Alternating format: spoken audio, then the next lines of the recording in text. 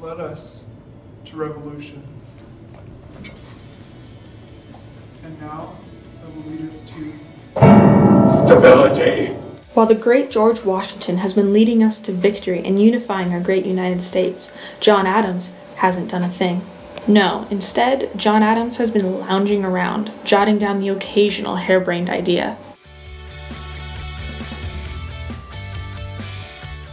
It is the common knowledge of the masses that the fur faced, weasel brained Adams has plans to terminate our newly won freedom. How dare he? It is a fact that we need an experienced professional to lead us in these dark times. It is common knowledge that George Washington has previous leadership experience as the leader of the Continental Army and chairman of the Continental Congress. It's common knowledge that should he be elected as president, Adams will demand that Congress address him as Your Highness.